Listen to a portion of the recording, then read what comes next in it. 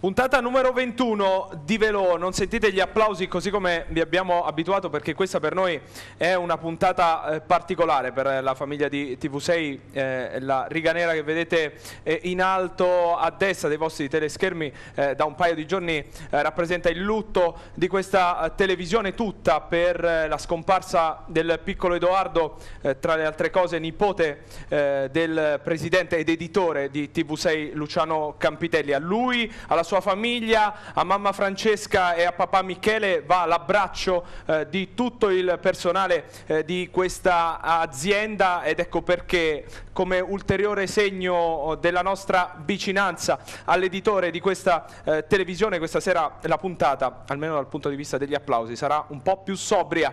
Eh, detto questo, apertura doverosa, eh, comincio a presentare gli ospiti di questa serata, gli argomenti sono tanti, il Tour de France innanzitutto innanzitutto, ma poi parleremo anche delle manifestazioni eh, di casa nostra, anche quelle che verranno, come il trofeo Matteotti. Lo faremo con Luciano Rabottini. Ciao Luciano, ben ritrovato. Buonasera a te Jacopo e buonasera a tutti. E poi eh, della Farnese Vini, Roberto De Patre. Ciao Roberto, ben ritrovato. Buonasera a tutti. A partire dalla mia destra ci darà una mano soprattutto per l'analisi della Gran Boucle ma anche e soprattutto per il trofeo Matteotti, Gilberto Petrucci. Ciao Gilberto. Buonasera, buonasera Jacopo, buonasera ai nostri amici che ci seguono da casa. E poi lo ritroviamo eh, a distanza di un anno Gianluca Ciancetta. Ciao Gianluca, ben buonasera. ritrovato. Buonasera a tutti. Accanto a te eh, Italo Leli che ci presenterà la manifestazione che si terrà in Val Vibrato. Buonasera, benvenuto. Buonasera, buonasera a tutti. E poi anche eh, andremo con la gara di Guarenna, il secondo classificato, oramai è un abitue eh, della nostra trasmissione, ne siamo particolarmente contenti. Questa sera anche in ottima compagnia Francesco Di Felice. Ciao Francesco. Buonasera. Allora, questi sono gli argomenti. Tra un po', dopo la pubblicità, partiamo con la puntata numero 21 di Veloa. Tra poco.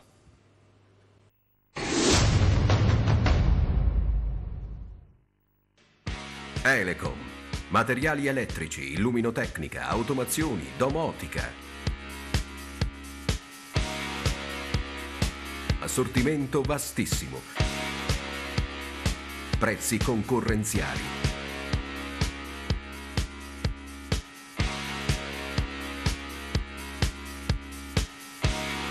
Consegne in tutto l'Abruzzo in 24 ore. Elecom, via Verrotti Montesilvano. Gagliotti Ricambi Industriali. Per ogni esigenza di manutenzione e riparazione abbiamo la soluzione. L'azienda è specializzata nella fornitura e pronta consegna di un'infinita varietà di ricambi industriali di vario genere. È il partner ideale per soddisfare ogni esigenza di manutenzione e riparazione delle vostre industrie. Grazie alla pluriennale esperienza nel settore, offre esclusivamente prodotti di altissimo livello e qualità. Visitate il sito gagliottiricambi.com per saperne di più.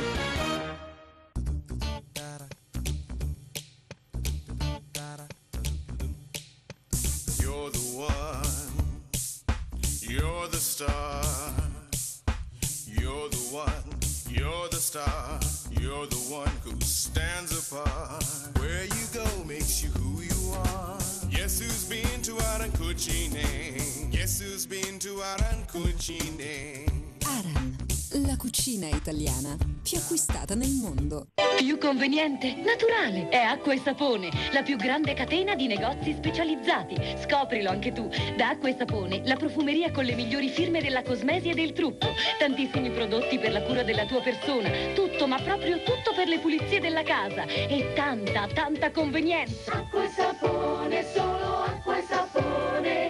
Acqua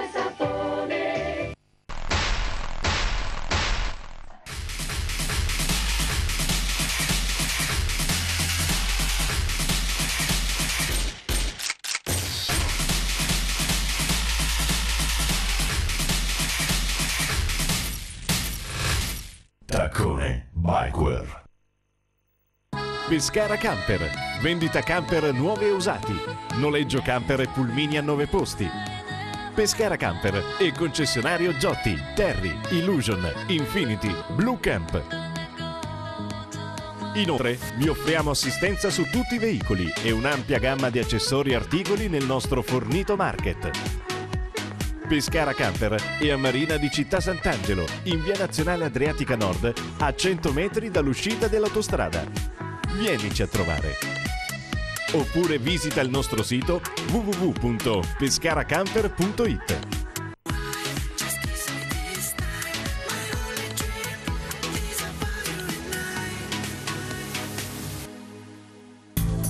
Clindex è una realtà italiana che progetta e realizza attrezzature professionali per levigare e lucidare pavimenti. La bontà dei suoi prodotti l'ha resa famosa in tutto il mondo. Le levigatrici Clindex sono adatte a levigare marmo, granito, gress, parquet e qualsiasi superficie grazie agli speciali utensili anch'essi realizzati da Clindex. Il Super Concrete, ovvero un sistema di lucidatura a specchio del cemento che ha creato una nuova concezione di pavimento industriale. Clindex è anche formazione, merito di corsi gratuiti aperti a tutti. Clindex è a Manoppello, via Vallone 16.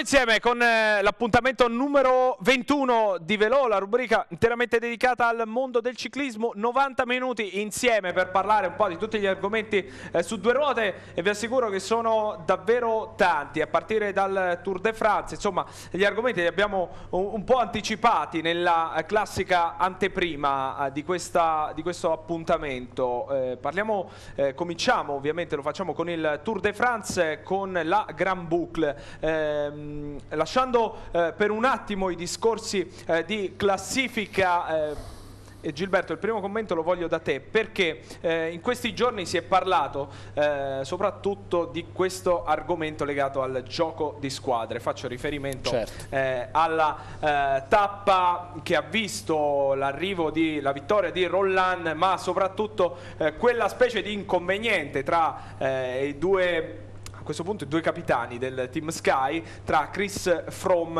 e ehm, Bradley Wiggins. La maglia gialla che ad un certo punto si stacca proprio per opera del compagno di squadra eh, a cui viene subito detto attenzione eh, fermati e aspetta perché la maglia gialla in difficoltà. A quel punto, eh, dato che stiamo parlando comunque della stessa squadra, secondo te la Sky ha fatto bene per un gioco, come si diceva prima, eh, di squadra oppure probabilmente avrebbe dovuto lasciare strada libera al corridore che in quel momento è- era più in forma? Ma guarda, intanto nel ciclismo, il ciclismo è uno sport di squadra dove ci sono peraltro delle gerarchie e naturalmente le gerarchie vanno rispettate sempre perché comunque a mio avviso ci deve essere sempre rispetto nei confronti di chi poi compone la squadra. Poi io, insomma, dal mio punto di vista, naturalmente al di fuori, poi qui abbiamo anche dei, dei professionisti che Sì. ci diranno l'importanza del vincolo, naturalmente, di squadra all'interno di un gruppo. E in questo caso, ma questo avviene comunque sempre, insomma, nel ciclismo. Poi è chiaro che Certo, ci sono delle France, frazioni... fa un po' rumore. un po' Allora, innanzitutto parliamo del Tour de France, perché Ah. il Tour de France comunque è una grande vetrina importante per gli atleti e soprattutto per lo sponsor, quindi eh, bisogna sempre valutare, in quel caso il direttore sportivo ha deciso che era meglio seguire questa, eh, questa strategia, ecco, insomma, perché la maglia gialla poi è la maglia gialla.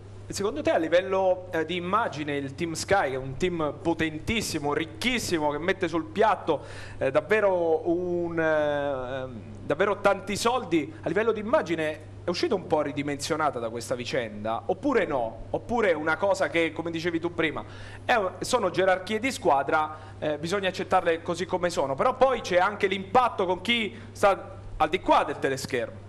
Beh, eh, allora, è chiaro che la squadra, eh, il Team Sky è un colosso, insomma, non è che eh, lo scopriamo noi oggi. E poi lì contano, come ti ripeto, contano soprattutto eh, gli asset eh, economici perché è chiaro che in quel momento bisognava difendere no, la maglia gialla, dico bene, quindi sì, sì. insomma eh, al di là del, del, marchio lì contava forse il vessillo che era quello insomma, del, del leader della classifica e credo che in qualunque in qualunque corsa a tappe ogni squadra si stringe attorno naturalmente al, al, proprio capitano, in questo caso dico bene Luciano la maglia di leader della classifica. Poi anche, volevo intervenire su, sul concetto sì, dell'interesse no, di Sky. Anche nella uh, frazione in cui c'è stata la vittoria di Vogler, i compagni di squadra di eh, Evans si sono stretti attorno al proprio capitano, anche nel momento di difficoltà, quindi è importante insomma, il concetto di squadra, nel ciclismo soprattutto.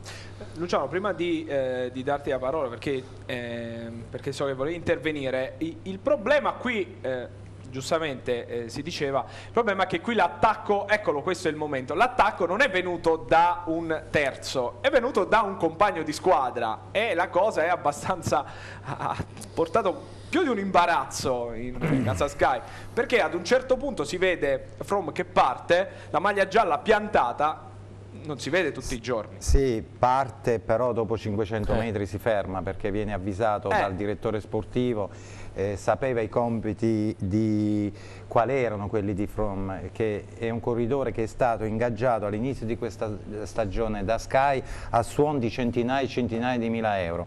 Partiamo un po' più indietro, la Sky eh, si presenta nel ciclismo 4-5 stagioni fa, fa un progetto e già quattro stagioni fa dice che voleva arrivare a vincere un Tour de France appunto con Wiggins.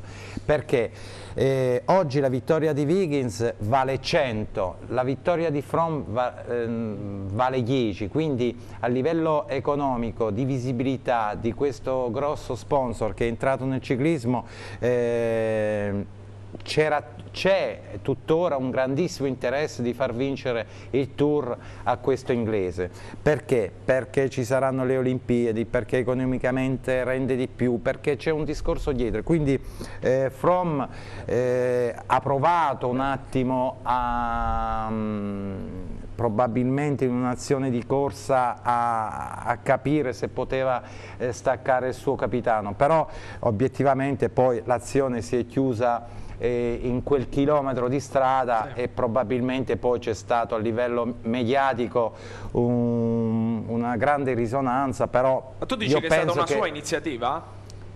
Ma lui Così. From stava tirando, stava tirando con a ruota Wiggins, era rientrato su quel gruppetto e, e, ha continuato e probabilmente ha cercato in quel momento anche di accelerare per capire eh, che cosa sarebbe successo, però poi eh, il tutto eh, si è ridimensionato tutto appena dopo l'arrivo perché From ha, detto chiaramente che eh, lui è al Tour de France in appoggio a Wiggins e, Beh, insomma gli animi proprio all'arrivo non erano non erano così però poi From... Wiggins non ha parlato From lasciato qualche dichiarazione sibillina, insomma, eh, non che la cosa sia passata totalmente mh, liscia in casa Sky. Ecco. Ma io se, secondo me se avesse esagerato From eh, all'arrivo l'avrei rimandato a casa se mm. fossi stato un direttore sportivo, a prescindere dal fatto che, che, è a due minuti dal suo capitano, non è a dieci certo. secondi, poteva eh, stravolgere il tour, perché sappiamo che fra alcuni certo. giorni c'è un cronometro dove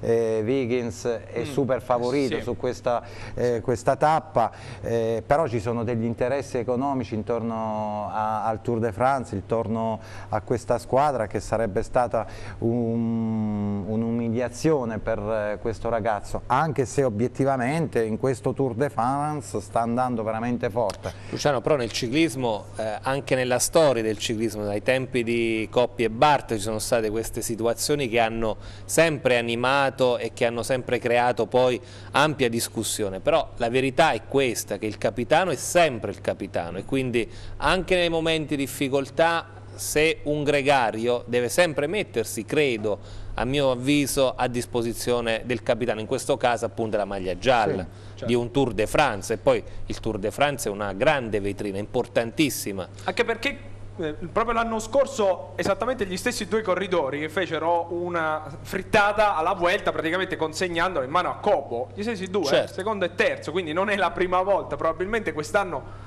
Gilberto ci, ci hanno Beh, pensato bene. Eh, eh, hanno fatto, si sono fatti dei conti anche perché non potevano ancora una volta sbagliare. E qui come ti ripeto il Tour de France è una vetrina molto molto importante. Io ho avuto la fortuna di seguirne eh, una edizione nel 2004 e mi sono reso conto proprio l'importanza che ruota attorno a questa eh, grande corsa a tappe francese dagli sponsor, dagli aspetti culturali, dagli aspetti sportivi.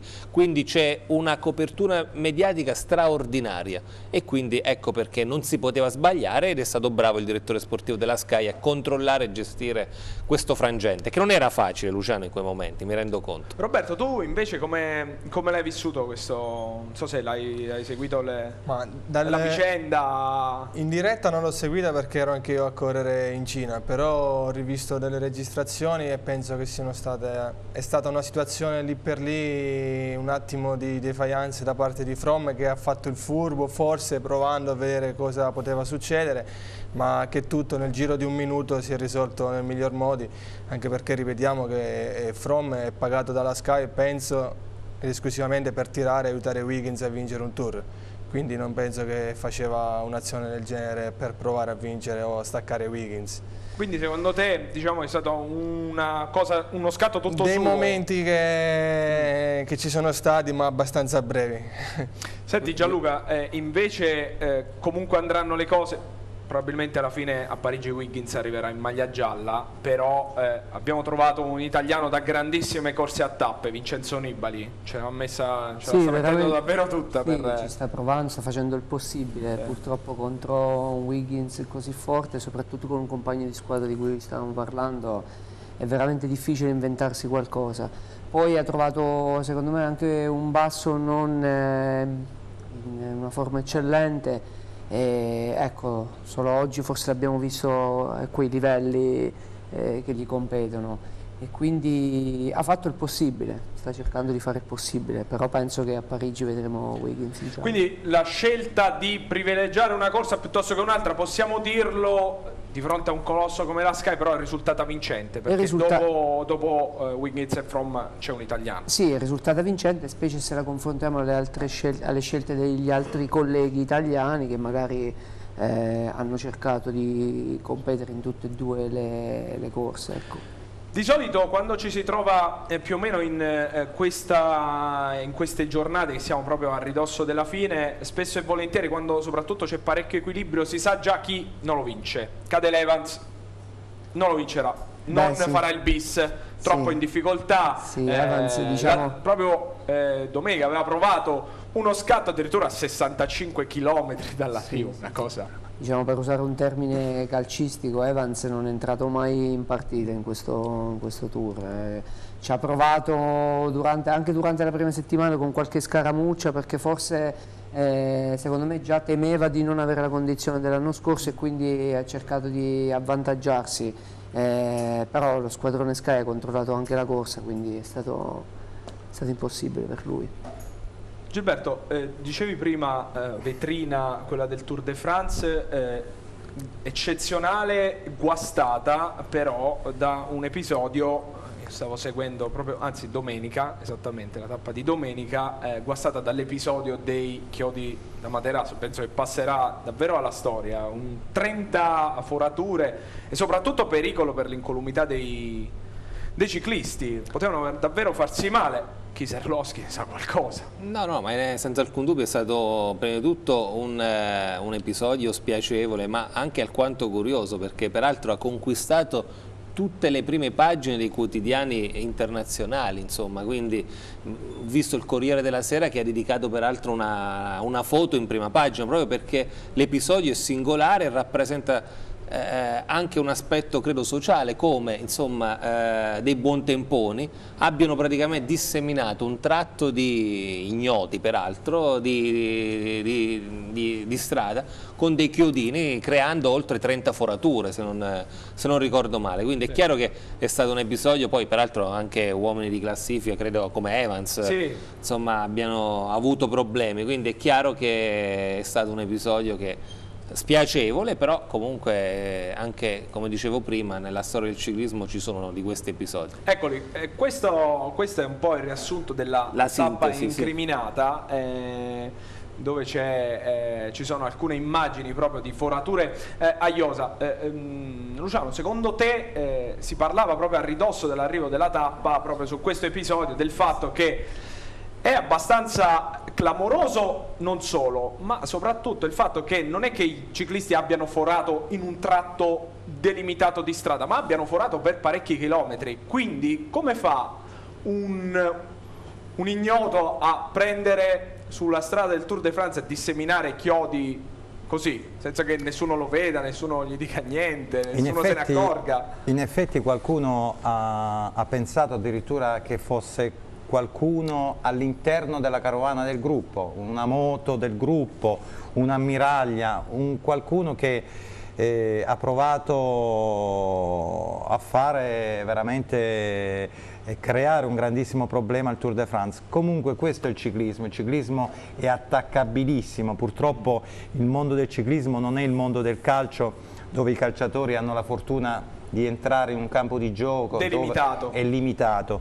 Il ciclismo purtroppo siamo al contatto del pubblico e probabilmente questa è una fortuna perché eh, abbiamo popolarità appunto per questo, però siamo attaccabili. Io mi ricordo quando c'era il grande Armstrong eh, che addirittura al Tour eh, molti francesi non potevano vedere questo grande campione americano, eh, Armstrong andava in giro con due o tre guardie del corpo perché eh, appunto il ciclismo è, avvicinabile, è attaccabile, chi vuole far male a un corridore può tranquillamente farlo perché ha la possibilità di poterlo vedere a un metro sulla strada, quindi eh, purtroppo dobbiamo stare attenti, però questo, questo rimane eh, 30 forature diciamo che poteva compromettere eh, il Tour de France anche nella classifica, ma come sempre i corridori, i ciclisti sono molto più intelligenti sì, di questi attacchi. È stato pure molto fair play Luciano. Sì, esatto, esatto, sono stati molto più intelligenti di un attacco certo. da, da, da, da, un cretino di strada, capito? Non Quindi... solo in gruppo, anche da parte delle ammiraglie che hanno aiutato eh, corridori di classifica di squadre avversarie a rientrare. Questo è a mio avviso forse il segnale eh, migliore di quello che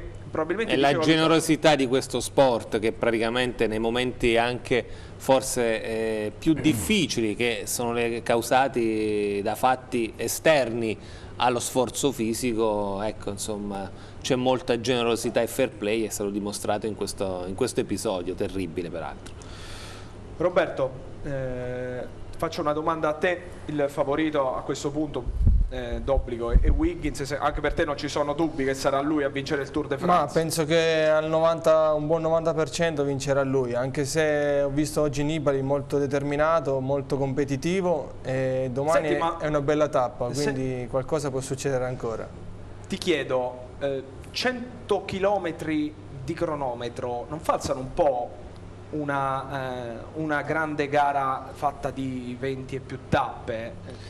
Ma cioè, falsare, falsare, non penso che falsa, perché viene fuori sempre colui che è più forte a cronometro, è sempre un buon corridore, è un buon atleta. Eh, sicuramente influisce una... su coloro che hanno le doti da scalatore puro e sicuramente non possono esprimersi al meglio e non hanno trovato un giro, un tour in questo caso loro, adatto alle loro caratteristiche sono delle edizioni speciali e hanno anche questa particolarità e sicuramente penso che negli ultimi, nei prossimi anni difficilmente troveremo tutte queste cronometre ancora. Ecco, proprio perché riprendevo il discorso di Luciano prima, cioè sembra un Tour de France abbastanza disegnato intorno ad una persona.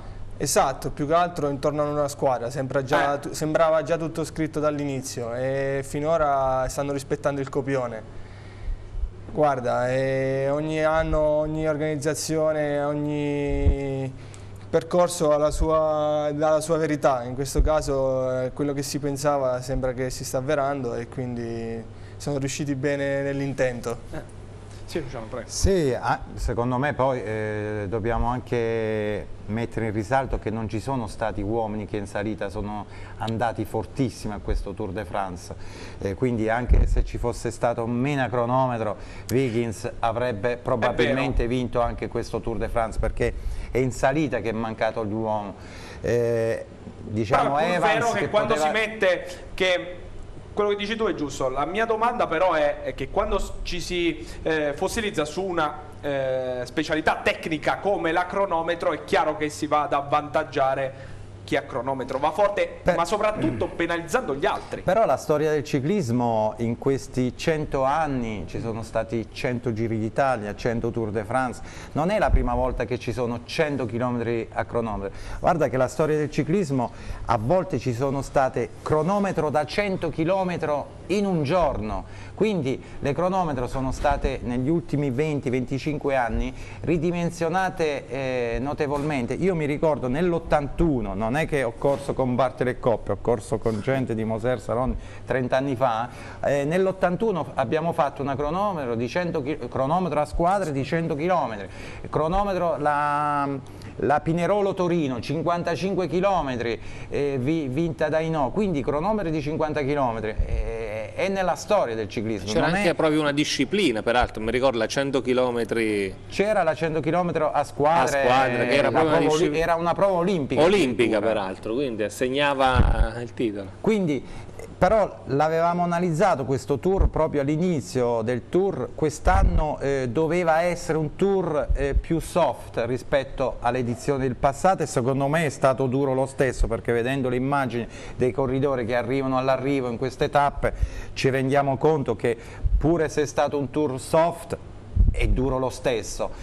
C'era una, una motivazione forte perché siamo alle porte delle Olimpiadi. doveva essere un tour dove eh, doveva portare gli uomini olimpici in una condizione non al massacro, quindi penso che poi alla fine eh, la scelta del eh, dell'organizzazione del Tour de France non è stata una scelta eh, per favorire un team Sky, è stata una scelta della storia di questa, sto- de- di questa grande corsa a tappe che quest'anno non è stato un tour drammatico, eh, il ciclismo si evolve e accettiamo quello che ci si presenta. Perfetto, Eh, chiusa la parentesi Tour de France, eh, andiamo in casa nostra perché c'è stata in settimana anche eh, la bella vittoria di eh, Danilo Di Luca, il Gran Premio eh, Nobili di eh, Stresa. Gilberto, è un antipasto quello che ci ha dato Danilo in vista del Matteotti che penso che sia la- l'appuntamento che gli preme di più. Queste sono le immagini proprio Sì. dell'arrivo. Beh. Danilo sta attraversando un buon, eh, un buon momento, diciamo così, insomma, un momento che naturalmente dura con, le tappe, con la tappa vinta al Giro dell'Austria, poi c'è stata appunto la vittoria del Gran Premio Nobili e ora sta disputando, che non so se corre, se parte, se ci sarà eh, domani o dopodomani, partirà il Giro della Vallonia, insomma, quindi sta eh, continuando il suo buon momento. E poi lui punta, ma non solo lui perché sono anche Certo. altri abruzzesi, a vincere il trofeo Matteotti per la seconda volta. Per esempio chi è salito sul podio al Gran Premio Nobili, cioè Fabio Taborre. Fabio terzo. Taborre, esatto, Fabio Taborre peraltro anche egli pescarese, quindi eh, punterà anche lui a... di- anzi, io credo che Taborre sarà il corridore da battere perché ha una buona condizione, è determinato. Certo, ci sarà un gioco di squadra, non lo so Luciano, all'interno dell'acqua e sapone che a Femocampo perché Danilo Di Luca è il capitano, Taborre comunque è un corridore dell'acqua e sapone, quindi naturalmente ci sarà un po' una strategia da pianificare. Il Matteotti non lo scopriamo oggi, una corsa molto dura, selettiva, difficile peraltro da interpretare, saranno sempre fondamentali gli ultimi due, tre giri dove naturalmente uscirà la vera corsa e quindi vedremo che se Danilo Di Luca che già nel 2002 eh, 2004, 2004 lui l'ha vinta quindi questa edizione, mh, poi c'è stata nel 2005 la vittoria di Ruggero Marzoli, quindi riuscirà a bissare al successo nella classica pescarese. Luciano, secondo te l'acqua e sapone è la squadra da tenere più d'occhio eh, per eh, il Matteotti oppure anche la Farnese di Roberto? insomma comunque possiamo dirlo potrebbe essere una corsa tutta abruzzese con grandi Ma forti tinte abruzzesi Non penso tutta abruzzese perché io penso e poi ce lo no, non, confermerà. non- non nelle Sì. squadre ovviamente Ce mi lo sono confer- espresso male e poteva essere equivocato non tutta abruzzese Sì. dicevo i protagonisti tutti abruzzesi Sì, diciamo che quest'anno innanzitutto, e poi ce lo confermerà anche Gilberto, l'edizione di quest'anno sarà molto più appetibile delle ultime edizioni perché eh, Eh sì, grandi squadre. alla partenza ci saranno eh, grosse squadre. Sicuramente però l'Acqua e Sapone con Danilo Di Luca, Fabio Taborre, eh, Donati, Di Paolo, una squadra che punta molto a questa eh, grande classica, ci- hanno un parecchi corridori abruzzesi, quindi tutti corridori motivati e, e quindi li vedo veramente grossi favoriti alla partenza di questa edizione del Matteotti. E poi giustamente c'è la Vini E Roberto Farnese. non è d'accordo, ovviamente, a livello di Roberto poi l'anno scorso grazie a Gatto furono i vincitori Esatto. dell'edizione scorsa. C'è, c'è un grosso fermento in questa edizione, speriamo che sia un'edizione del rilancio come tutti ci si aspetta. Roberto. Io penso che i probabili vincitori siano molti, perché oltre a Taborre, Di Luca e i vari Gatto che sicuramente dovrà dare una svolta anche alla sua stagione che in, primis è andato abbastanza forte, ora sembra che sta tornando piano piano ai suoi livelli, ma c'è anche il campione italiano Pellizzotti, ci sono altri- anche altri tanti italiani che stanno andando abbastanza forte. Noi per la mia squadra sicuramente con Gatto e anche con Rambottini che non è da sottovalutare visto quello che ha fatto quest'anno cercheremo la vittoria e sicuramente ce la giocheremo insieme ai rivali dell'Acqua e Sapone. È una Eh, specie di chissà. derby, mi pare di capire. no? È Ma normale che loro giocano così. in casa con il team corridori, noi giochiamo con lo sponsor del nostro team in casa e con i corridori vediamo chi lavora meglio. Senti, a proposito della, della tua squadra, è chiaro, dopo eh, un grande giro d'Italia, eh, la vostra squadra, essendo sotto eh, l'occhio dei riflettori, un po' di pressione per centrare determinati risultati c'è. Ma la pressione c'è sicuramente, da precisare che quest'anno siamo partiti, abbiamo iniziato la stagione, talmente abbiamo corso in tutte le gare più importanti del calendario, da precisare che si è fatta una campagna nel nord con una squadra come la nostra, la professional, e siamo andati abbastanza forti. Siamo arrivati un po' nel gergo ciclistico al gancio, al Giro d'Italia e ci ha salvati un grande Rabottini che nonostante tutto ci puntava già dal giro a fine giro dell'anno scorso, già pensava di andare forte, di cercare di fare qualcosa di buono al giro di quest'anno e ci è riuscito. E abbiamo vinto un'altra tappa con Guardini e quindi si è concretizzato il lavoro anche della crescita che si, si aspettava di Guardini. Ora un periodo un po' così così, ma già di queste gare in Polonia e in Cina abbiamo fatto anche tre vittorie, abbiamo ottenuto, penso che ci sarà una bella estate da vivere. Parliamone un po' di Cina, siete reduci da queste tre belle vittorie dove anche tu hai contribuito eh, fortemente a, a queste vittorie. Che tipo di ciclismo avete trovato? Ehm, è un ciclismo in grossa crescita Io in penso, Cina? sì, esattamente come dici, penso che nell'arco di due o tre anni troveremo, cioè, troveremo, andremo tanti di noi europei a correre in quelle zone della Cina, Giappone, in Asia tra virgolette, perché abbiamo notato una grande, forte voglia di crescere da parte loro, da parte degli organizzatori, da parte delle squadre non europee, bensì di altri continenti che hanno, hanno capito che effettivamente il territorio in espansione a livello ciclistico sta diventando il territorio asiatico. E la Cina è nonostante tutto è un giro che se non sbaglio è più di dieci anni che viene organizzato, è partito da un'organizzazione di nove tappe, è passato a 10, quest'anno hanno fatto 13 tappe, un altro anno cercano di fare 16 tappe. Ciò significa che ci stanno investendo molto eh, per far sì di, di rendere la gara più importante e nonostante tutto troviamo dei partecipanti dove ci sono più di 60 corridori di squadre professional.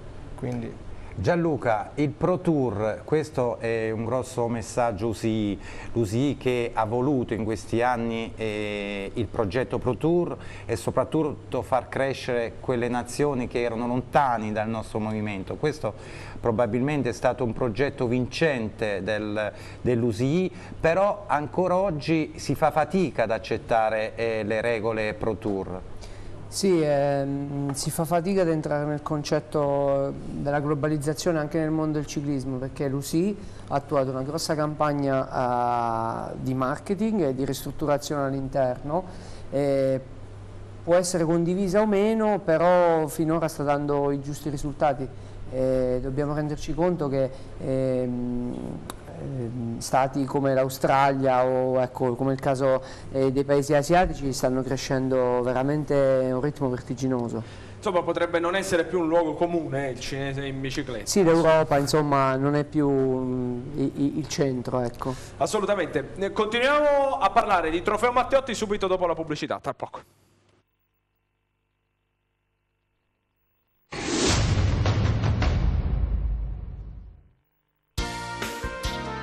Oltre 25 anni di ciclismo agonistico. Per darvi oggi Rabottini Cicli Sport, con le migliori marche di bici da corsa, mountain bike e turismo. De Rosa, D'accordi, Coppi, Carrera, Passoni e le americane Scott e Merida. Vasto assortimento di abbigliamento, caschi, occhiali, scarpe, ciclocomputer e la migliore componentistica. Rabottini Cicli Sport, esclusivista per l'Abruzzo delle ruote Zip. Se la qualità è il vostro stile, veniteci a trovare. Siamo a Marina di Città Sant'Angelo.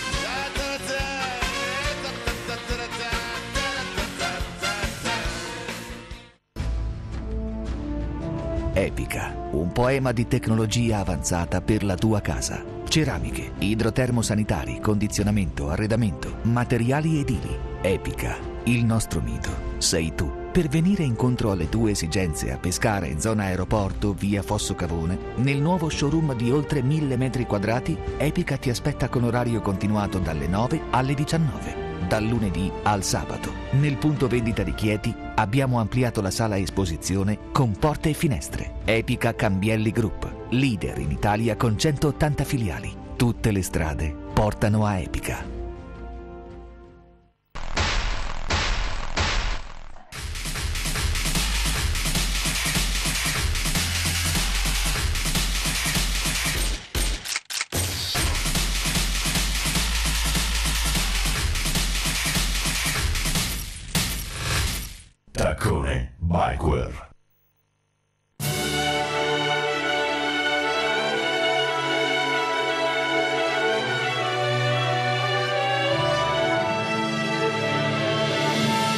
Competizione leale, rispetto delle regole, considerazione per l'avversario.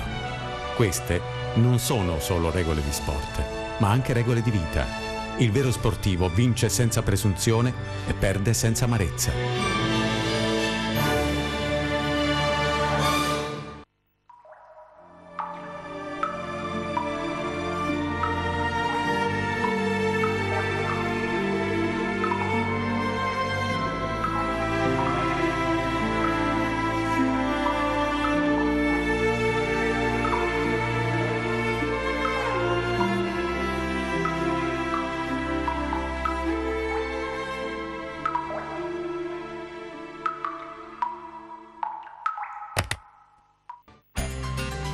Della Odoardi progettiamo e realizziamo serramenti in alluminio dal 1968, utilizzando materiali che rispondono ai marchi più prestigiosi. Noi della Odoardi ci avvaliamo di un qualificato ufficio tecnico di progettazione, garantiamo assistenza continua pre e post montaggio, rilasciamo certificato CE, realizziamo impianti fotovoltaici, assicuriamo puntualità nelle consegne. La nostra professionalità è certificata ISO 9000 ed è riconosciuta dall'attestazione SOA. Serramenti in alluminio Odoardi Pietro Co. A Montesilvano, in corso Umberto 32, presso la ex Monti. Più conveniente, naturale. È Acqua e Sapone, la più grande catena di negozi specializzati. Scoprilo anche tu. Da Acqua e Sapone, la profumeria con le migliori firme della cosmesi e del trucco. Tantissimi prodotti per la cura della tua persona. Tutto, ma proprio tutto per le pulizie della casa. E tanta, tanta convenienza. Acqua e Sapone, solo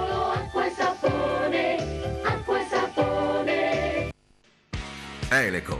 Materiali elettrici, illuminotecnica, automazioni, domotica. Assortimento vastissimo. Prezzi concorrenziali.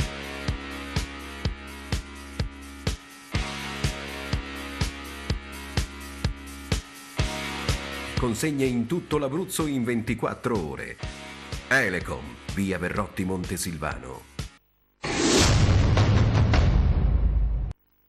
Di nuovo insieme eh, con eh, l'appuntamento numero 21 di Velo, stiamo parlando, abbiamo introdotto a dire la verità l'argomento legato al 66esimo trofeo Matteotti, domenica 29 luglio a Pescara, si diceva, Luciano lo aveva anticipato e io allora giro la parola a Gilberto, eh, anticipato quest'anno davvero una grandissima edizione, oltre alle squadre di casa nostra, oltre agli atleti di casa nostra, ci saranno anche grandi squadre, la Catiuscia, sta cercando di fare di tutto anche per avere l'Omega Pharma del neocampione italiano Certo. a cronometro Dario Cataldo che ci tiene particolarmente anche Stiamo lui. da facendo il possibile per portare anche la squadra belga a disputare il trofeo Matteotti. Ci sono dei vincoli, naturalmente occorrono minimo 5 corridori perché il trofeo Matteotti è una manifestazione classificata 1.1, quindi non è possibile fare delle miste, abbiamo necessità appunto di avere eh, almeno 5 corridori al, al via.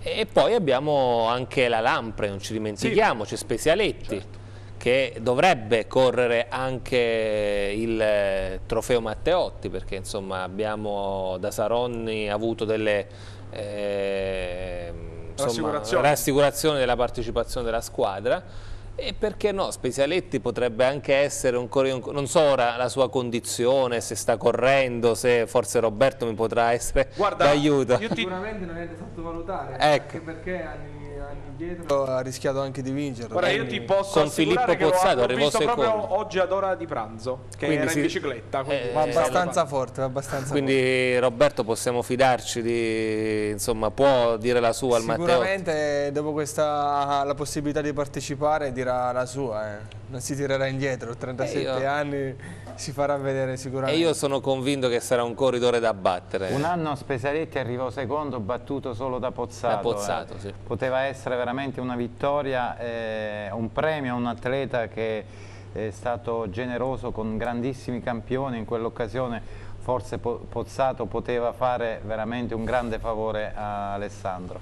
Ci saranno, a proposito di campioni d'Italia, neo campioni d'Italia, ci sarà sicuramente Franco Pellizzotti, poi ci saranno anche parecchie squadre Pro Tour, dicevi bene, la Lampre, ma anche la Catiuscia, la Catiuscia, Stana. la Stana che hanno inviato appunto il proprio, la- proprio l'adesione appunto a partecipare al trofeo Matteotti, nei prossimi giorni ci, saranno, ci sarà anche l'ingaggio, quindi conosceremo il bollettino, insomma il cosiddetto bollettino, quindi scopriremo anche la formazione sia della Stana che della Catiuscia, quindi un Matteotti giunto alla 66esima edizione di grande pregio, di grande insomma, livello perché naturalmente eh, avere questi- queste squadre, questi corridori in un momento peraltro particolare della stagione, la conclusione del Tour de France, la vigilia delle Olimpiadi, eh, non è facile, non è facile, però eh, siccome il Matteotti continua ad avere un ruolo molto importante all'interno del calendario internazionale, perché comunque è una classica eh, che eh, viene disputata a 66 anni, quindi 66 edizioni, quindi naturalmente vince il Matteotti, scrivere il proprio nome sull'albo, nell'albo del trofeo Matteotti eh, è davvero prestigioso e quindi i corridori che devono poi peraltro conquistarsi anche un contratto per la prossima stagione, vince il Matteotti, dico bene Luciano, significa avere una possibilità in più per stappare il contratto.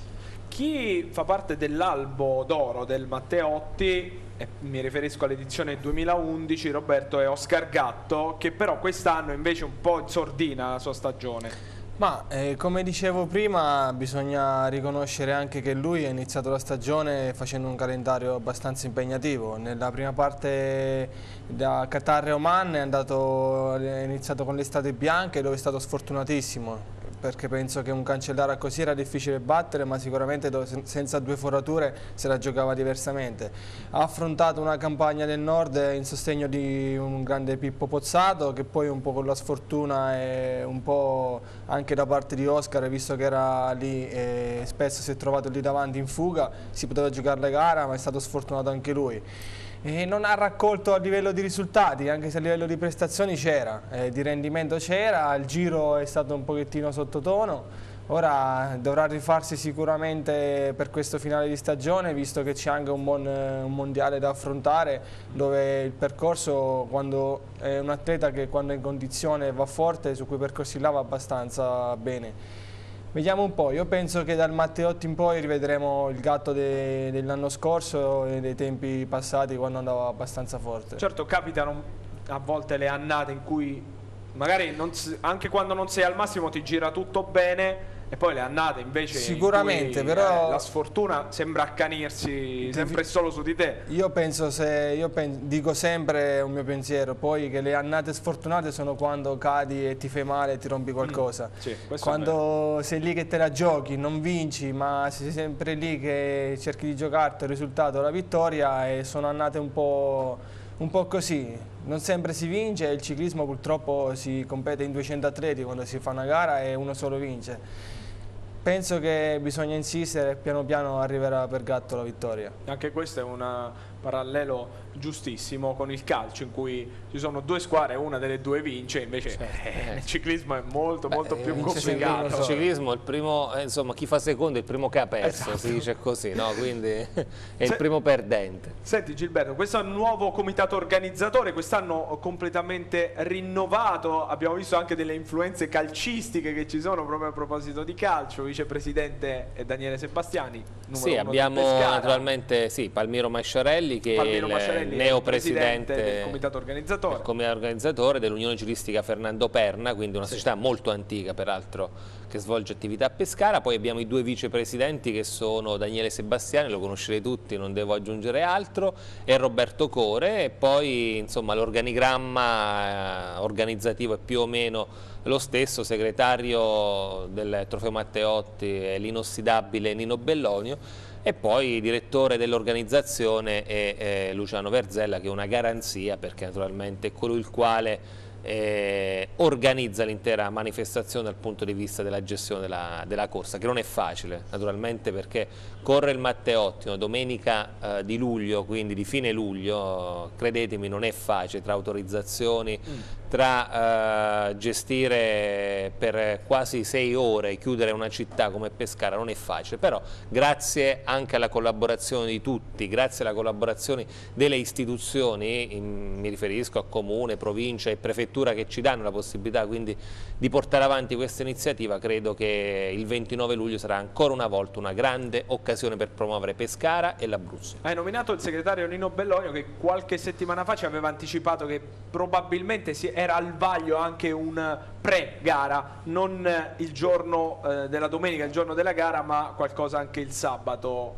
Eh, è ancora in Sì, eh, stiamo valutando appunto il sabato sera di, in occasione di una manifestazione di contorno di fare proprio una tornare con la cosiddetta punzonatura, quindi presentazione delle squadre eh, in piazza Salotto dove ci sarà la sfilata appunto delle, delle dei club, dei, dei, team che parteciperanno al trofeo Matteotti.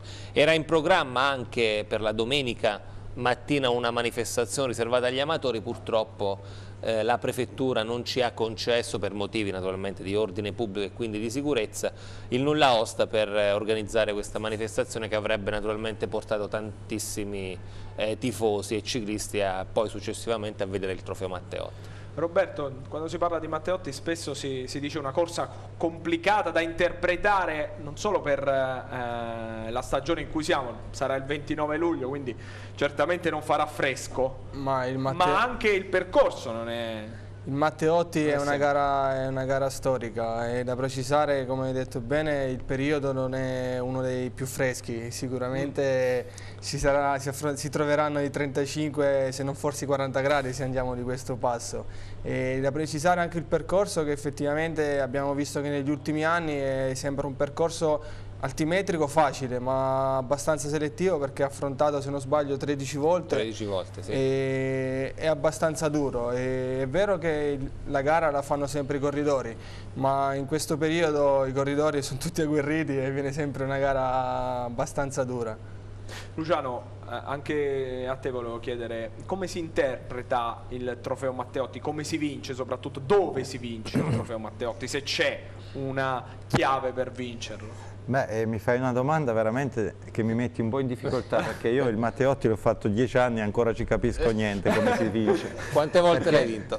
E allora, visto che... De delle volte ho allora fatto fatica... Dici quelle... come non si vince?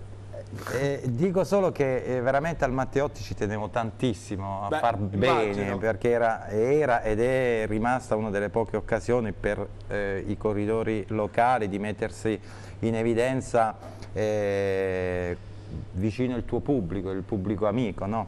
Eh, giustamente io ci tenevo tantissimo, però eh, venivo sempre da un momento di stagione delicato, finivo il giro abbastanza stanco, poi c'era questo Matteotti, mi preparavo, però poi il grande caldo mi metteva in grande difficoltà, sono stato sempre un corridore definito corridore del freddo, andavo benissimo all'inizio di stagione con le temperature fresche e al Matteotti era la, la- la corsa del caldo, quindi eh, ci mettevo tanto impegno, però obiettivamente eh, un anno penso di essere arrivato undicesimo, dodicesimo, ma in quella circostanza eh, siamo arrivati 13 corridori, quindi si partiva in 200, si arri- al Matteotti si arriva a pochi, sì. 20-30 corridori se, se le condizioni sono ottimali.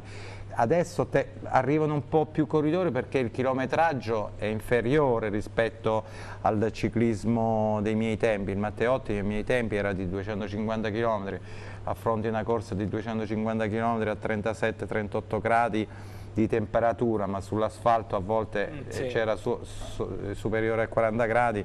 Eh, vi dico che in quelle poche occasioni che sono riuscito a finire il Matteotti ho fatto un- una buona settimana per riprendermi dalla grande fatica perché il Matteotti ra- rappresenta eh, la, eh, la fatica di questo sport.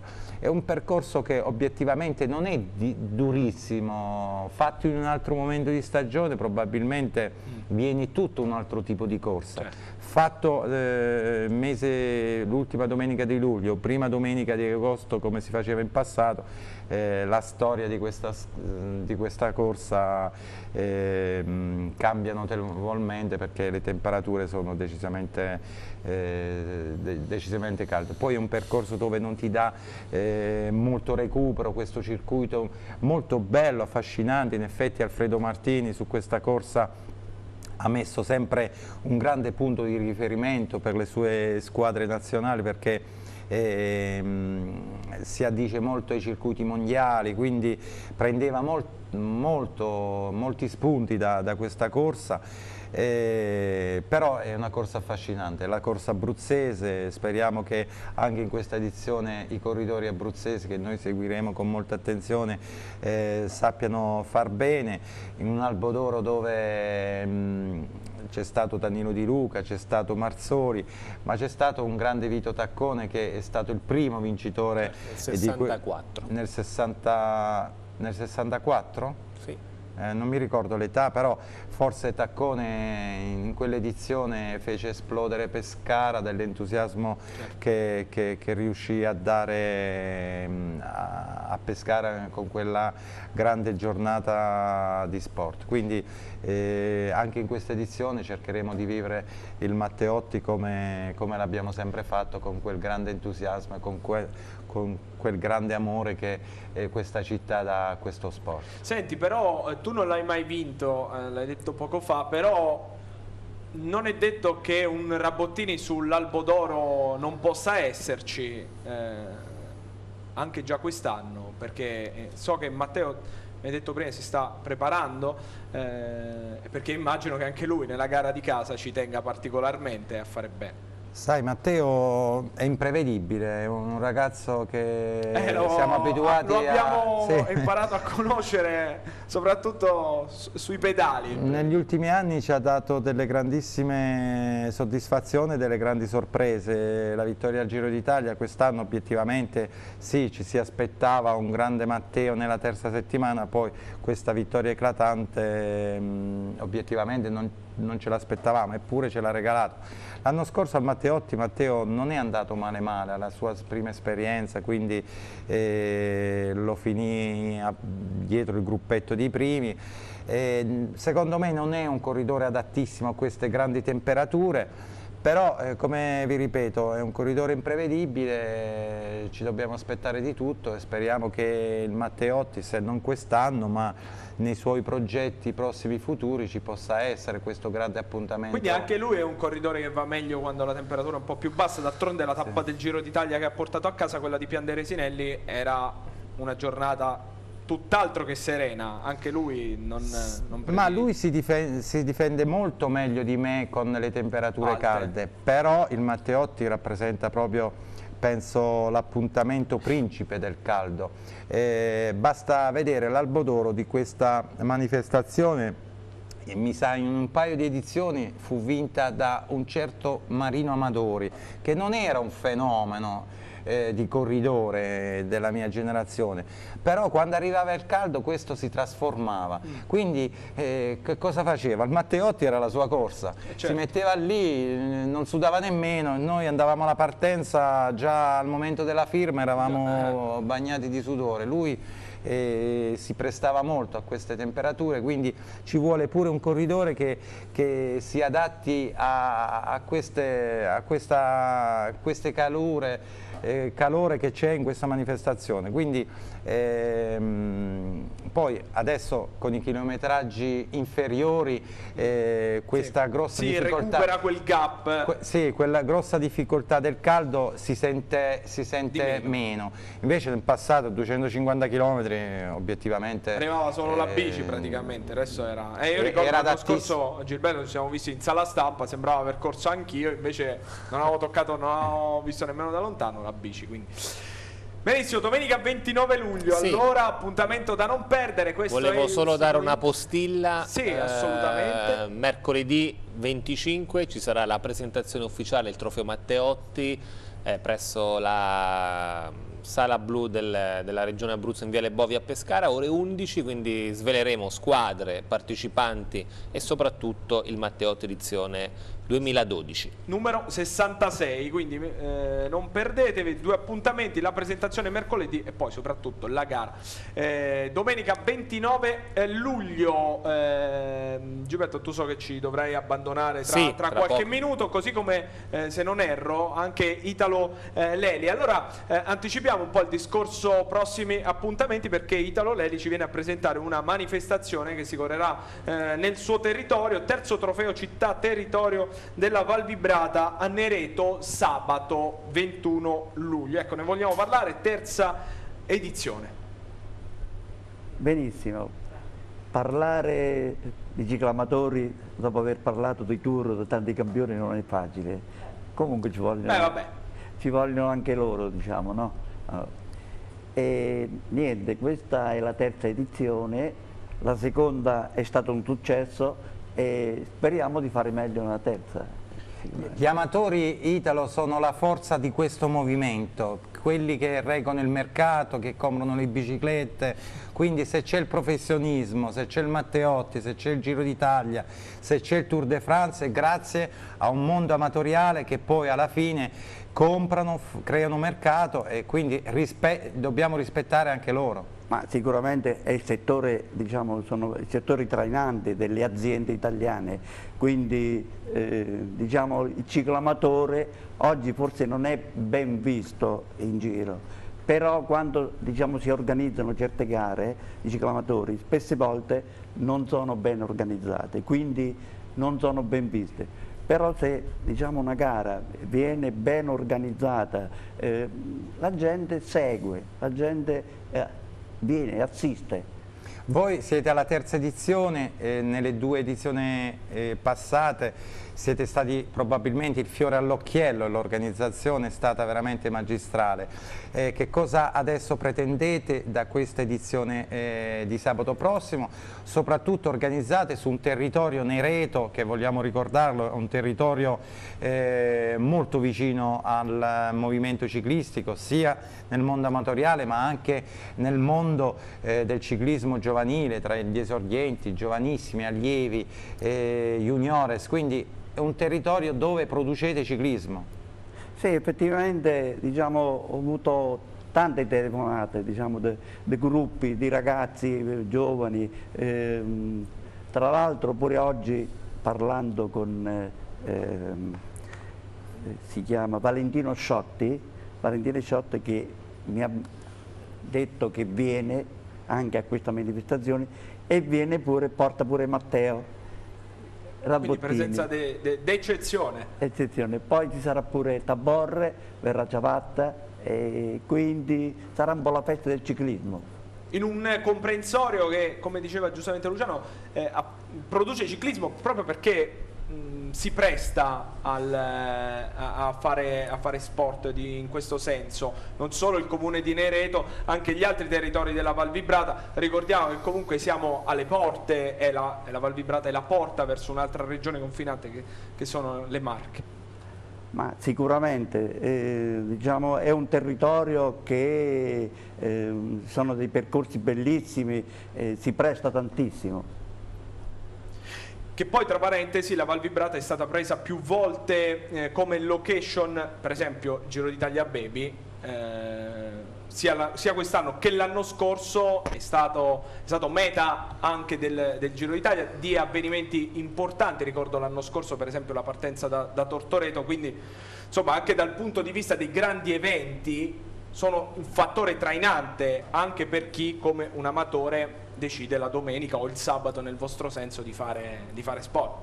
Ma mh, gli amatori, ripeto ancora, come diceva giustamente pure Luciano, gli amatori spesse volte non sono ben visti. Però, Perché secondo lei? Ma mh, secondo me, come ripeto, perché diciamo, quando si organizzano queste gare eh, di ciclamatori non sono ben organizzate, non c'è assistenza. non c'è- Allora io ripeto, bisogna farne meno e ben organizzate. Questo è importante e fondamentale. Ma non c'è assistenza per... Ma parliamo di assistenza, parliamo di ehm, i percorsi che non sono protetti, non c'è la protezione civile, non- quindi diventa, diventa difficile. diventa. Il territorio teramano, tra l'altro, nel mese di settembre ospiterà eh, le ultime tappe del Giro d'Italia dilettanti che si sta disputando dal mese di maggio, un Giro d'Italia eh, dilettanti, amatoriale, scusate, eh, che si sta disputando dal mese di maggio, sono manifestazioni a tappe che eh, compreso delle Gran Fondo al nord, quindi al- nel mese di settembre sul territorio teramano ci saranno appunto le ultime tappe di questo bellissimo Giro d'Italia eh, per amatori. Anche dal punto di vista dell'organizzazione, dice- diceva bene lei, magari ha, ha delle difficoltà in più, però eh, anche le istituzioni, come vedo, eh, dalla, dalla locandina vi sono state vicine, i comuni, anche la provincia, anche la regione. Sì, diciamo di sì, sotto questo aspetto eh, ho avuto delle, va con le spalle un po' delle più belle- delle belle risposte. Diciamo. Va bene. Comunque dome- sabato alle 15.30 la partenza eh, sia della prima che della seconda serie. Ci sono due percorsi quindi. Due partenze, Due però eh, diciamo separate.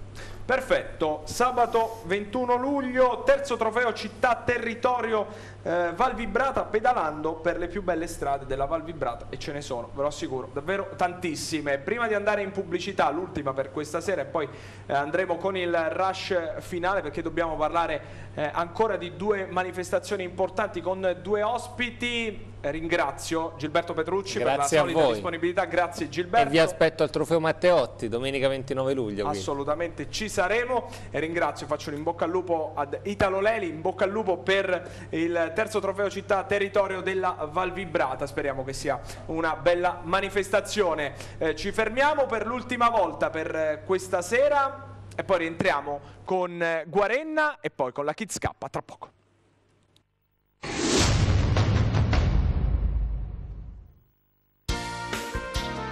Oltre 25 anni di ciclismo agonistico. Per darvi oggi Rabottini Cicli Sport, con le migliori marche di bici da corsa, mountain bike e turismo. De Rosa, D'accordi, Coppi, Carrera, Passoni e le americane Scott e Merida. Vasto assortimento di abbigliamento, caschi, occhiali, scarpe, ciclocomputer e la migliore componentistica. Rabottini Cicli Sport, esclusivista per l'Abruzzo delle ruote Zip. Se la qualità è il vostro stile, veniteci a trovare. Siamo a Marina di Città Sant'Angelo.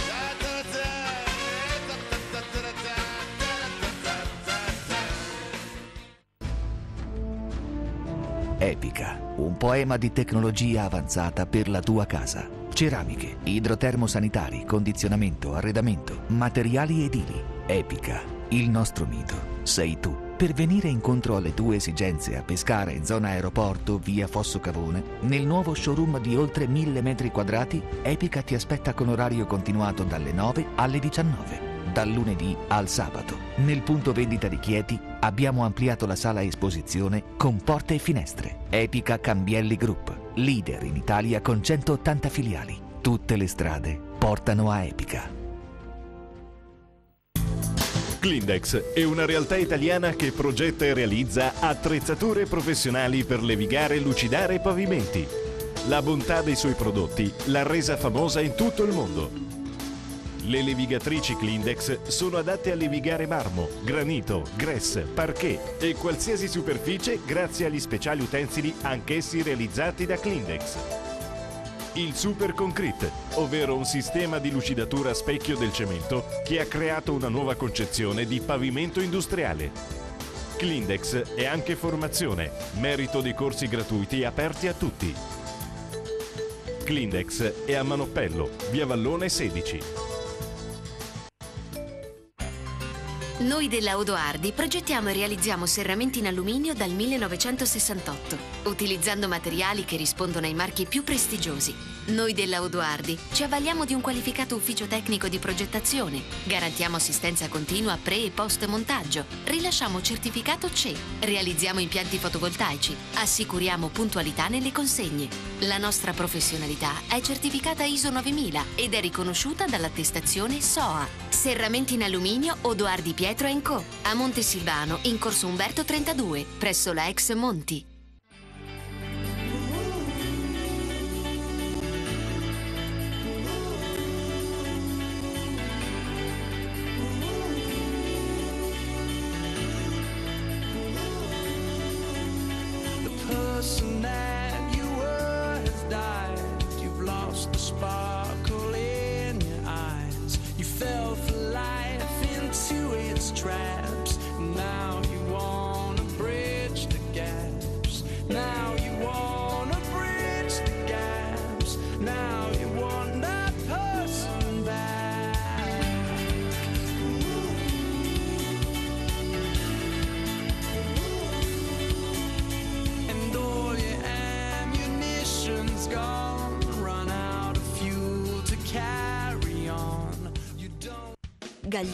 Ricambi Industriali. Per ogni esigenza di manutenzione e riparazione abbiamo la soluzione. L'azienda è specializzata nella fornitura e pronta consegna di un'infinita varietà di ricambi industriali di vario genere. È il partner ideale per soddisfare ogni esigenza di manutenzione e riparazione delle vostre industrie. Grazie alla pluriennale esperienza nel settore, offre esclusivamente prodotti di altissimo livello e qualità. Visitate il sito gagliottiricambi.com per saperne di più.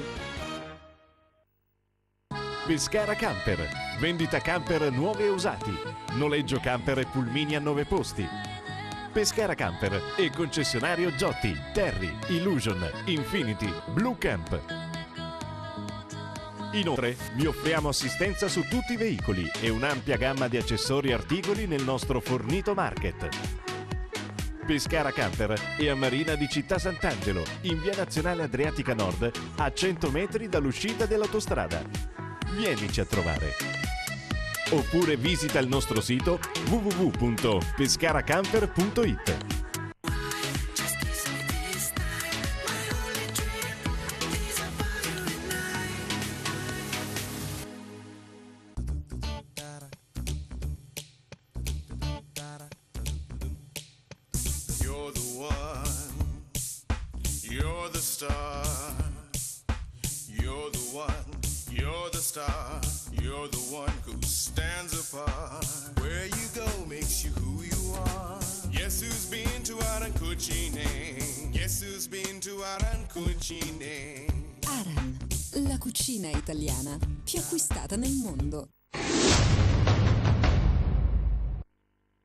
Eccoci insieme. Di nuovo, ultima parte eh, di Velò, abbiamo parlato del trofeo Matteotti, adesso eh, per rimanere a casa nostra ma eh, in ambito più recente parliamo di una manifestazione che eh, la settimana scorsa, non so se ti ricordi Luciano, aveva presentato proprio il presidente eh, Riccardo Rollo, si tratta della Kids Cup, si è tenuta a Pescara presso l'ex caserma eh, Cocco organizzata dalla ASD Green Bike Ciancetta, Gianluca. Eh, allora, parliamo di questa manifestazione, eh, ricordiamo eh, per Sì, piccoli, è un'attività. dai 6 ai 12 anni. Sì, è una manifestazione di fuoristrada giovanile eh, dai 6 ai 12 anni.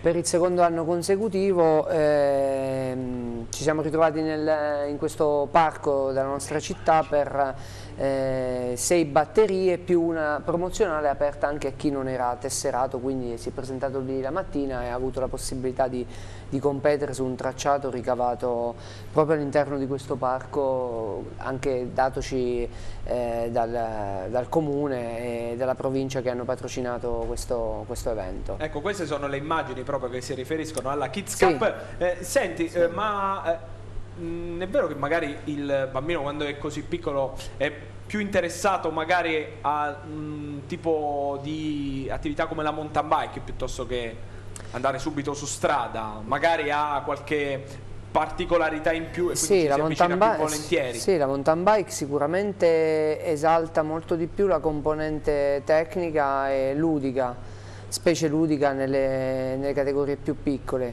E poi inutile dire i vantaggi eh, che possa portare un'attività di questo tipo in questa età.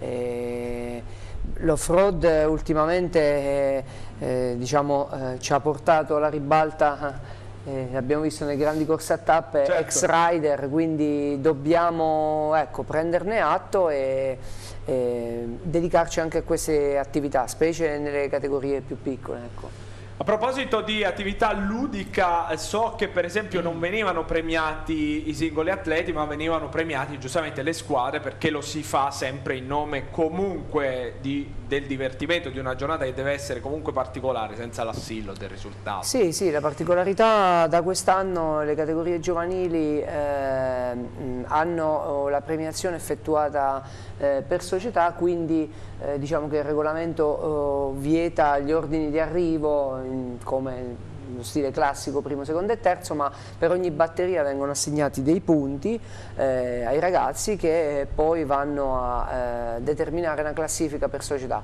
e quindi in questo caso la Kids Cup che è proprio la coppa eh, della manifestazione viene ehm, assegnata alla società vincitrice che ha realizzato maggior punti.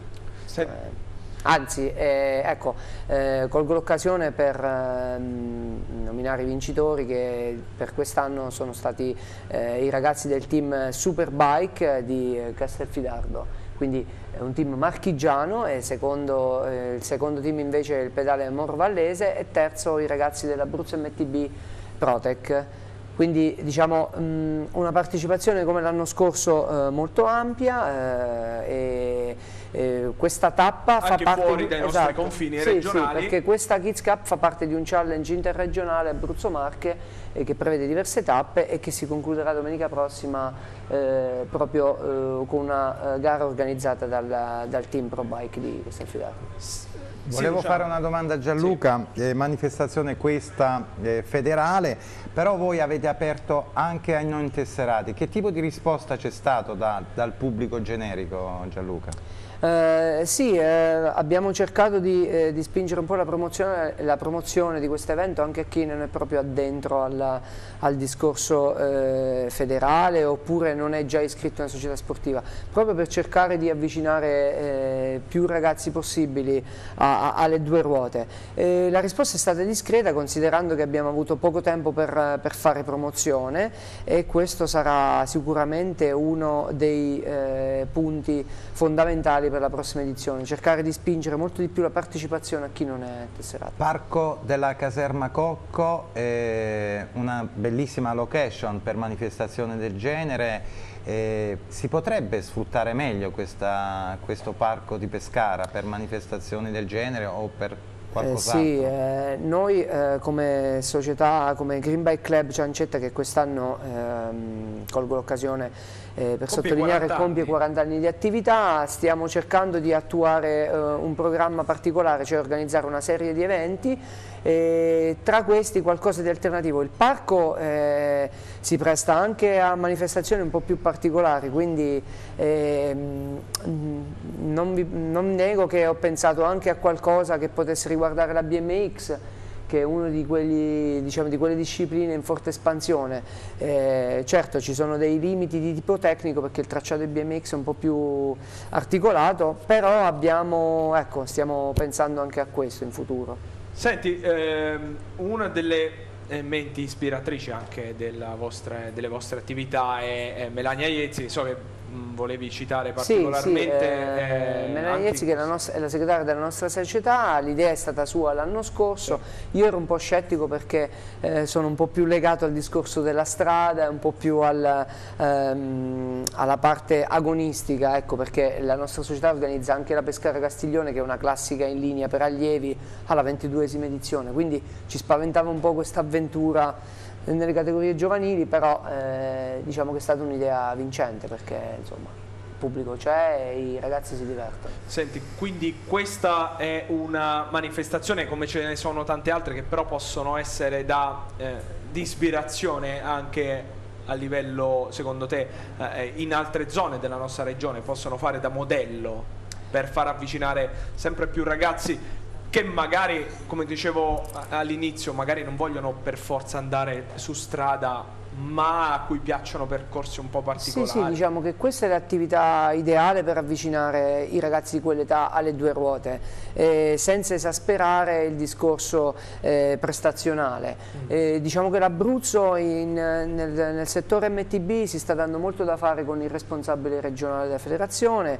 e, mh, anche a livello amatoriale il gruppo è molto numeroso e diciamo poi l'Abruzzo è inutile eh, eh, sottolinearlo qui, voglio dire, se non, chi se non l'Abruzzo con i suoi parchi può eh, lanciare il settore MTB. Anche perché altrimenti poi si corre il rischio di dover eh, dire bravi a chi fa mountain bike magari all'estero e invece noi le avremmo qui e, e- è un peccato non, non sfruttare. Non sfruttare. Magari loro vanno ad inventarsi dei percorsi su dei tracciati che nemmeno esistono per la mountain bike all'estero, Non invece qui da noi che ci sarebbe. Noi con eh, 30 km, con mezz'ora di macchina siamo in quote con eh, tracciati fuoristrada ben eh, delineati, quindi si può fare tranquillamente. Senti, vinto lo scetticismo, l'anno prossimo ci sarà un'altra edizione. Eh, sì, è sempre molto difficile dirlo subito dopo l'edizione attuale. Eh, cercheremo di cambiare leggermente la formula proprio per favorire, come dicevo prima, come dicevo prima l'avvici- l'avvicinamento di ragazzi che sono fuori dal circuito eh, prettamente federale. Stavamo pensando anche a forse un mini camp di due giorni eh, con una giornata di, eh, con i maestri mountain bike federali e poi un mini saggio la domenica, eh, saggio gara eh, la domenica, potrebbe essere un'idea. Anche perché sulla mountain bike bisogna anche saperci stare, poi al di là delle frasi fatte. Esatto, quindi ecco pensavo a una giornata del sabato eh, propedeutica con alcuni istruttori federali e poi la domenica diciamo una verifica sul, sul tracciato. A proposito di attività su strada, grazie Gianluca eh, per la spiegazione di questa eh, manifestazione davvero molto interessante, seconda edizione della Kids Cup. A proposito di attività su strada, e allora lo ritroviamo con piacere, Francesco Di Felice, che eh, eri anche la settimana scorsa, sei venuto a trovarci se non erro, però per altri, per altri tuoi impegni. Eh, stasera ti ritroviamo secondo classificato al settimo Gran Premio Guarenna 2000. Non è arrivata la vittoria, tra un po' vedremo anche le immagini, però i risultati stanno arrivando. Eh. Ma i risultati di quest'anno stanno arrivando. Eh, essendo anche un primo anno sono abbastanza soddisfatto. E niente, adesso ci sono. Domenica c'è il campionato provinciale di Pescara, la Pescara Rocca Caramanico. Gara se ne parla molto, molto impegnativa. Speriamo di migliorare il risultato lì. Senti, una corsa, quella eh, di Guarenna, 70 km, 71 km se non erro, um, una media molto alta, oltre 38. Sì, è stata per- una gara combattuta comunque. Sì, comunque eravamo. Vinto Andrea Cacciotti. Sì, un laziale. Comunque eravamo 100, più di 120 iscritti e oltre al numero c'era la qualità perché c'era anche il campione italiano Daniel Marcellusi che questa stagione la sta dominando comunque c'erano corridori molisani, della Basilicata, delle Marche, di tutte le regioni qui vicine molto forti, la gara si è fatta subito forte dai primi giri con un percorso che era un, un saliscendi poco impegnativo e poi si andava a affrontare questa salita all'ultimo giro che è stata decisiva, è stata decisiva per la, la gara. La gara. Benissimo, secondo posto, allora eh, queste erano le immagini, andiamoci a sentire i commenti post gara proprio della giornata del Gran Premio Guarena. Oggi è stata una corsa molto dura, prima di fare la salita sono partiti molti corridori, sono rimasto nel gruppo a risparmiare la gamba, poi appena iniziata la salita ho cominciato a menare e ho ripreso a 1-1, ho vinto il GPM, sono scoricato con 40 secondi e sono riuscito a portarmi fino all'arrivo molto dura, è la prima di questa stagione, speriamo in molte altre. Questo percorso com'è stato? Beh, molto duro, a tratti il vento contro, la salita nell'ultimo pezzo molto dura, ma oggi doveva arrivare perché dopo una serie di delusioni eh, l'aspettavo molto questa vittoria. Le, queste sensazioni non, non venivano dall'anno scorso, sono riusciti finalmente ad arrivare e speriamo in altre, almeno altre due o tre corse da, da conquistare quest'anno. Francesco De Felice, secondo classificato di questo settimo Gran Premio Guarenna. Francesco ci hai provato, sei andato in fuga, poi alla fine un secondo posto del quale puoi essere contento? No, sì, contento perché sono il primo anno, ma oggi puntavamo per la vittoria. Peccato, abbiamo fatto un buon lavoro con la squadra. Ringrazio la squadra che nei giri mi ha aiutato anche. Ci ho provato, niente, è stato più bravo Cacciotti, un merito a lui. È stata una gara dura? Sì, è stata dura, soprattutto nei giri in pianura avevamo sempre un ritmo molto alto e la salita l'ha anticipato il campione italiano Marcellusi, poi l'abbiamo ripreso e Cacciotti è partito, noi l'abbiamo fatta regolare, peccato. Un secondo posto che rafforza la tua posizione di leadership in classifica regionale questo? Sì, sì, sto primo, stanno sono migliorato molto dall'anno scorso, anche nella classifica del primo anno nazionale mi trovo bene. Niente, sono soddisfatto di quest'annata. Lo dedico a tutta la squadra, al presidente Antonio Dottore, Dario Di Giovanni, Gabriele Di Giovanni. Un grazie soprattutto al mio DS Pasquale Roberto che ormai è da tre anni che è con me. Poi niente, a tutta, tutta la squadra e alla famiglia che fa tanti sacrifici. C'è, soddisfazione perché è stata una bella corsa, abbiamo dato il meglio e è venuto solo un terzo, piazza, un terzo posto, però ci accontentiamo. Questo percorso è troppo pianeggiante? No, no, era abbastanza impegnativo perché metri di pianura ce n'erano pochi, tutti sali e scendi e nel finale una salita molto impegnativa, non tanto lunga, però competenze che si facevano sentire. I tuoi prossimi impegni? I prossimi impegni, la prossima settimana faremo la pescara a Rocca Caramanico organizzata dalla mia società. Partiremo da San Silvestro e arriveremo nella Maiella a Rocca Caramanico. Allora invitiamo tutti a partecipare a questa gran bella gara sicuramente. Certamente, sarà una, speriamo esca una bella corsa. Complimenti. Grazie. Siamo con Matteo Del Rosario, campione italiano su pista. Quest'oggi si è cimentato sulla strada. Com'è andata Matteo? Ma diciamo abbastanza bene, oggi diciamo, ho aiutato il mio compagno di squadra che diciamo, sulla salita se la cava meglio di me e alla fine ha fatto quinto quindi abbastanza soddisfatto. Dai.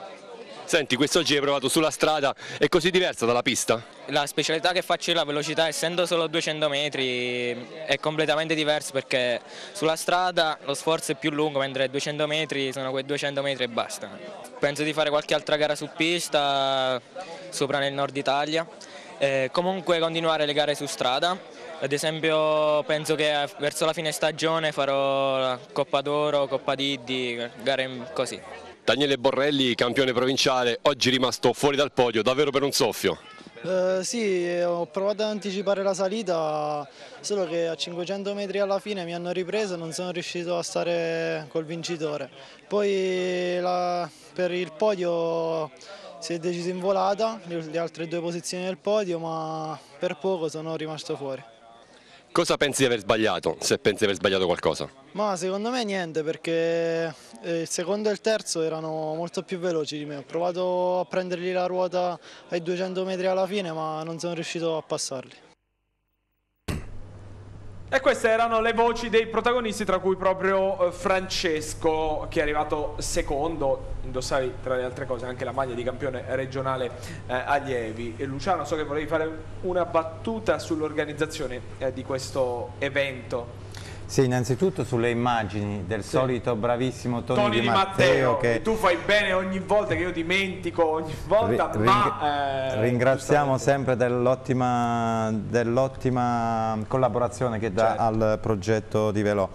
Eh, sì, volevo mh, dare due battute su questa organizzazione, soprattutto curata dal gruppo sportivo Guarenna 2000 del presidente Severino Rossetti che da anni eh, si prodiga nel Val di Sangro per portare avanti il ciclismo giovanile, ma soprattutto queste manifestazioni. Una manifestazione che è arrivata alla settima edizione su un bellissimo eh, percorso eh, nella Val di Sangro, quindi non durissimo, anche se poi eh, la parte finale con eh, l'asperità Sel- da Selva di Altino ad Altino c'erano veramente difficoltà importanti dove c'è stata selezione. Ehm, però dico bravo agli organizzatori perché questo? Perché hanno fatto una corsa abbastanza tranquilla nella prima parte dove tutti i ragazzi possono eh, dare le loro possibilità e poi nella parte finale ehm, fare il tratto difficile, impegnativo dove poi si vede la qualità